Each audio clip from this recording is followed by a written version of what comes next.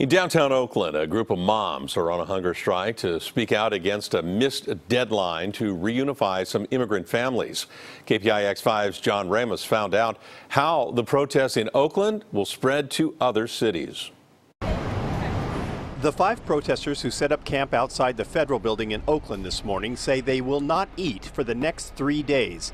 They're protesting that some families separated by immigration officials have still not been reunited.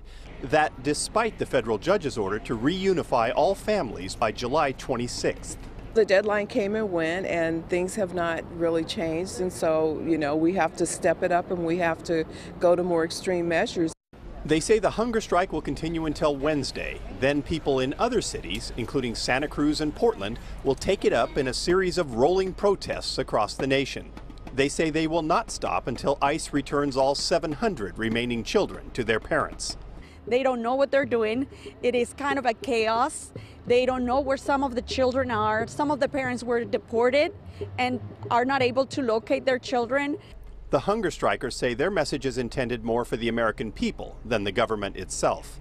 Because I'm an activist and because I'm surrounded with other activists, it feels like it's something always churning and happening, and it feels very active and very alive.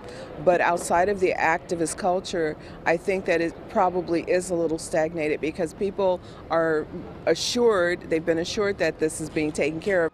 They say it's important that the public understands the situation has not yet been resolved.